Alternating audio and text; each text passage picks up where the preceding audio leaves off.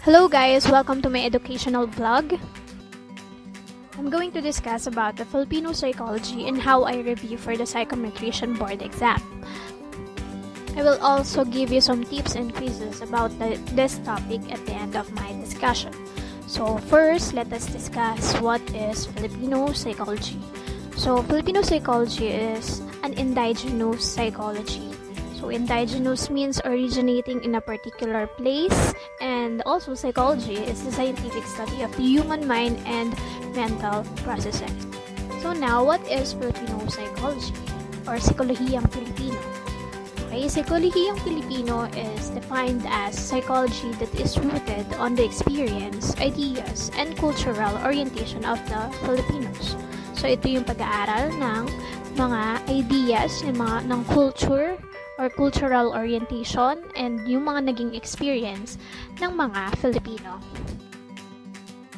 So, there are appropriate and not appropriate concepts kasi in a particular culture or context. So, for example, sa European countries, nagbebeso-beso din sila as a form of greeting, lalo na kapag kilala nila yung isang bako.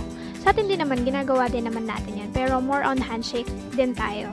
So, some people may feel that parang awkward kapag ginawa mo yun sa isang tao. And then dito, dito na magsisimula yung incorrect interpretation of one's behavior and thinking. So, dapat, it should be based on the context of the individual's world. So, dapat alam mo yung culture ng place na yun at ng pinanggalingan ng taong yun. Okay? So let's have a brief history. So noong 1970s, there is a group of eminent academicians pioneered the use of a, Filipino perspective in social sciences. So those are Dr. Zeus, Dr. Virgilio, and Dr. Prospero. So together they developed a Filipino perspective and methodology to study of Philippine society and culture. So kay Dr. Virgilio Enriquez nga lang, uh, ang pinag-aralan niya is the Filipino psychology. So, may iba't iba silang pinag-aralan. And then, kay Dr. Virgilio Enriquez, nag-end up siya sa Filipino psychology. And then, it, Filipino psychology is also adapted by the UNICEF or United Nations International Children's uh, Emergency Fund. So, they use the Filipino psychology as a parang program for the children's with or children's who are a victim of trauma. Dr. Virgilio G. Enriquez was born on November 24, 1942 in Santol, Balagtas, Bulacan, and he is the father of Filipino psychology. He died August 31, 1994 at the age of 51. So, nung bata pa si Dr. Virgilio, palagi siyang tinitrain ng father niya to use the mother tongue which is Tagalog. So, for example, bibigyan siya ng English newspaper ng father niya and then he will read it in Tagalog. He will read it out loud as if it was written in Tagalog talaga. So, ganun siya i-train ng father niya when he was a child. So, there are three key concepts. So, the first one is kapwa. The second one is levels of interaction. And the third is Filipino values. So, let's start with kapwa. So, what is kapwa? So, kapwa is not others. It is, as you can see, naggawa ako ng diagram. So, nandyan yung sarili, nandyan yung iba. At sa gitna ng sarili at iba, nandun yung kapwa. So, kapwa is the shared identity of self and other paano mo ba masasabi na kapwa mo ang isang tao? Okay? So, dapat meron kayong similarities. Meron kayong parehong pinagdadaanan. And also, there is a connectedness. Ito ay ang pagkilala na bahagi ng sarili ng iba sa akin, hindi ako iba sa iyo, hindi rin ako iba sa inyo. So, this is shared identity is a sense of identification with another. So, ito din ay ito rin ay tumutukoy sa pamayanan na hindi ka nag-iisa sa paggawa. So, the core idea of kapwa is treat others as you treat yourself because the other person is also yourself. At kung tinuturing natin kapwa, ang ibang tao, dapat alam natin na meron dapat pagkilala at paggalang sa dangal at talaga ng bawat isa. Ayaw din natin na nakakasakit, nakakasakit tayo ng iba. At hinihikayat tayong ituring na kapantay ang lahat ng iba sa atin. Hinikayat tayong maging magalang, maging patas, at huwag manamantala. So for Enriquez, kapwa is a core value because it is the foundation or heart of all other values. So there are eight levels of interaction. Pero meron siyang dalawang category. The first category is ibang tao or outsider and hindi ibang tao or one of us. So nag start ang levels of interaction or ang interaction from the ibang tao or outsider which is number one, pakikitungo. So, pakikitungo or transaction or civility with. So, in Confucian ethics, it is the right behavior meant, right demeanor towards authorities. For example, di ba when we were young, uh, we are parang takot tayong uh, pagalitan or bigyan ng punishment ng parents natin. So, ang ginagawa natin, sinusunod natin sila and that's what we call pakikitungo. And the second one is pakikisalamuha or interaction with or act of mixing. So it this is a social value that is primarily communitarian and Confucian. It espouses the ability to adapt or trying to adapt with other people.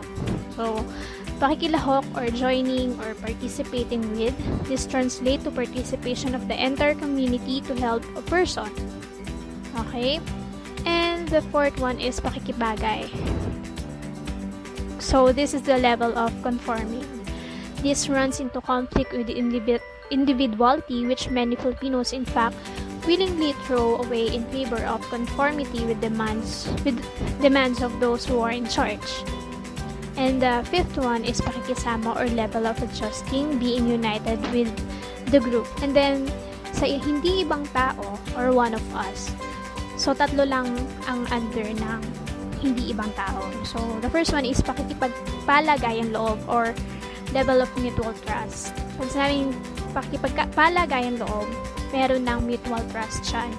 So, compare mo dun sa mga nauna, wala pang mutual trust. Dito, nag start na magkaroon ng mutual trust. And then, nag start pa lang ha. So, the, the seventh So, yung pampito, pakikisangkot, getting involved with or act of joining others. Medyo nakakalito siya sa pakikisalamuha. Kasi interaction with or act of mi- mixing and asan ba yun? Pakikilahok. Pero anong pagkakaiba nilang tatlo? Yung pakikisangkot kasi mas more on parang mas higher na siya dun sa dalawang yon. Okay, meron na kayong mutual trust eh. Tapos na kayo sa mutual trust. So, parang ano na, um, palagay na yung loob mo. Kaya ka, alam mo yun, kaya ka nakikipag join sa kanila. So, yun yun. And then, pakikiisa is the level of fusion, oneness, and full trust. So, ang pagkakaiba na nila nito ng pakikiisa sa pakikipagpalagay yung loob is pakikiisa, nandun na yung full trust. Okay? Kasi sa pakikipagpalagayan loob, nag start pa lang yung mutual trust. Dito sa pakikiisa, nandito na yung full trust. So, yun yung, ito yung highest level of interaction, yung pakikiisa. Let's go now to the Filipino values. So, what are the Filipino values? So, the first one is the pivotal interpersonal value. Uh, pakiramdam, under the pivotal interpersonal value is the pakiramdam. So, it is the shared inner perception. Paki is request at ramdam is internality or sensitivity. Ito ay pagkilala sa loob ng isang tao ayon kay Enriquez This is knowing through feeling and participatory sensitivity. So, sometimes we ask other people, ano kaya ang pakiramdam ng ganito, ganyan? Or minsan, meron tayo uh, time na tahimik lang tayo, tapos papakiramdaman natin kung ano ba yung nararamdaman ng taong kasama natin. So, that's what we call pakikiramdam. Next is, under the linking social personal value is the kagandang loob or shared humanity. Ito yung pagkamakatao. Ito yung genuine acts of generosity, kindness, and caring. Ito din yung mga taong handang tumulong sa mga tao na alam nilang nangangailangan. Next is accommodative surface values. So the first one is hiya or shame. It is the uncomfortable feeling in a socially unacceptable situation. And the second one is utang na loob. So it is the gratitude or solidarity. It is not necessarily a burden or debt. So the third one is pakikisama or smooth internal relationship, getting along with others. So in what situation do we need to get along with others pa? And in what situation do we need not to get along with others? Next is confrontative surface values. So the first one is bahala na or fatalistic passiveness. It is a Filipino expressions that means whatever will be or come what may or in older and more traditional context, let God's will be. Kailan ba kayo huling nagsabi na bahala? Example, ay bahala na, bukas na lang magre-review bukas na lang habang nasa biyahe ako, magre-review ako. Hapon pa naman yung exam eh. Tapos pag nasa jeep ka na, tsaka mo sasabihin, ay bahala na, bahala na mamaya. So, ganun tayo minsan, di ba? Minsan sinasabi natin, ay bahala na ang Diyos. Bahala na ang Diyos sa kahihitnan neto. Next is lakas ng loob or courageous. This is the inner strength. So, under what circumstances do we need to display courage ba? 'Di ba, when we are in the midst of uncertainty is kapag na-challenge tayo, dun lumalabas yung lakas ng loob natin. The third one is pakikibaka or concurrent clashes. So, it refers to the ability of the Filipino to undertake revolutions and uprisings against a common enemy. Tinatawag din itong pakikipaglaban. And the last one is the societal values. So, karangalan, katarungan, at kalayaan. Karangalan is the is dignity. This actually refers to what other people see in a person and how they use that information to make a stand or judge about his or her worth. Okay, next is katarungan or justice, which carries with it the consideration of fairness and promptness in the defense of certain basic rights and the need for katotohanan and katwiran. And the last one is kalayaan or freedom. This implies freedom of the society within the limits of the rules, laws, social norms, or resources. This is the Filipino value structure. As you can see, nasa, nasa gitna yung core value, which is kapwa or shared identity. Again, bakit siya nasa gitna? Kasi ito yung foundation ng lahat ng values. So, ito yung ginawa kong reviewer base sa naging reference ko. So, namarize ko lang siya. So, una, tinandaan ko lang yung uh, tatlong three words na to. So, yung pagkakaiba ng three words na to, kapwa, pakikipagkapwa, and pakikipagkapwa tao. Okay, the first one is kapwa. So, kapwa is the awareness of shared identity. Okay? For example, okay, iyan yung kapwa mo, nasa harapan mo. Alam mo yung pagkakaiba nyo, alam niyo yung pagkakatulad nyo. Alam niyo yung pagkakatulad nyo. Alam niyo yung parehong pinagdadaanan nyo. Okay? So there is an awareness of your shared identity. Okay, as I've discussed earlier. Okay, the second one is uh, pakikipagkapwa. You're just interacting with others. So, yun lang yan. Pakikipagkapwa. And pakikipagkapwa tao is there is a sense of valuing the relationship of self and the other. So, yun yung pagkakaiba ng tatlong yon. So, madali lang siyang tandaan. Kapwa is the awareness, pakikipagkapwa is interaction, and pakikipagkapwa tao is valuing. Okay? So, paano ko siya na-review? Ganito lang yan. So, lahat yan, from 1 to 5, nag start siya sa pakiki. Pakiki, tungo, pakikisalamuha, pakikilahok, pakikibagay, pakikisama. So, lahat yan nag start sa pakiki. So, ang ginawa ko is, uh, dun ako sa second uh, word.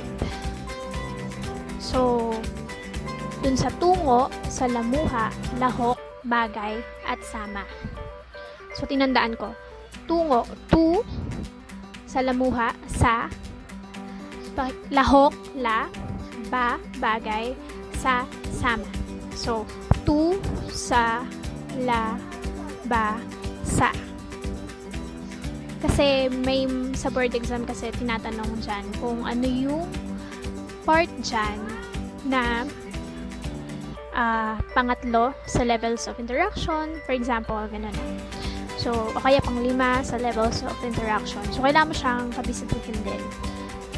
Bukod sa kailangan mo kabisiduhin yung ibig sabihin niya, kailangan mo rin tandaan yung pagkakasunod-sunod niya. So, ganun ko siya na-review. Again, to sa to from tungo sa salamuha ki, lahok from lahok ba bagay sa sama to sa labasa so ganun ko siya na-review and then sa hindi ibang tao or one of us.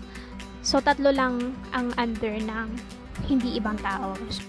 Yung pang-anim is pakikipagpalagay ang loob. Pang-pito pakikisangkot. Pang-walo pakikiisa. So, tatanggalin ulit natin yung unang word na nag-uugnay. Ang matitira na lang ay palagayang loob, sangkot, at isa. Pa, palagayang loob, sa, sangkot, isa. So, ganun, ganun ko tinandaan yung pagkakasunod-sunod. Tu, sa, la, ba, sa, pa, sa, i. Gumawa din ako ng quiz para sa sarili ko para matandaan ko pa siya lalo. So, ito yon May matching type, may enumeration, at may identification. Ayun, naging useful yung quiz na yun kasi uh, may mga lumabas sa exam. Though, onti lang naman yung items for Filipino psychology, pero lahat yon sigurado ako na tama yun. Kasi, madali lang naman yung question. Like, ano yung lima sa levels of interaction or basta nakalagay lang doon. For example, um, ito yung level of conforming. Alin sa mga sumusunod yan. A, pakikitungo. B, pakikibariyay. C, pakikilahok. Or D, pakikiisa. Ganun lang yung mga tanong ko. Kaya sasabihin, ito yung level of fusion, oneness, and full trust. Ano yon A, pakipagpalagay ang loob. B. Pakikisangkot. C. Pakikisalamuha. D. Pakikilahok. So, ganun yung mga, ganun lang naman yung mga questions. Kaya dapat, um, tandaan nyo siya. Ano yung pagkakasunod-sunod, ano din yung ibig sabihin. At syempre, ano din yung pagkakaiba nila kasi medyo mahirap isipin. Nung una nahirapan ako, ano ba pagkakaiba nila? Pero kung iintindihin mo siya ma- ng maayos, may intindihan mo naman talaga siya. Kung ano, me- na meron talagang pagkakaiba sa kanila. So, yon Sa mga Filipino values naman, syempre alam naman natin yung iba dyan. So, hindi na tayo malilito kung ano ba yon So, intindihan lang natin kung ano bang ibig sabihin. So, madali na yon kapag naintindihan na natin. Ayun lang. Sana may natutunan kayo. So, kung may mga tips pa kayo, share nyo lang sa comment section para matulungan natin yung kapwa natin. And don't forget to like, subscribe, and click the notification bell. So, thank you. Bye!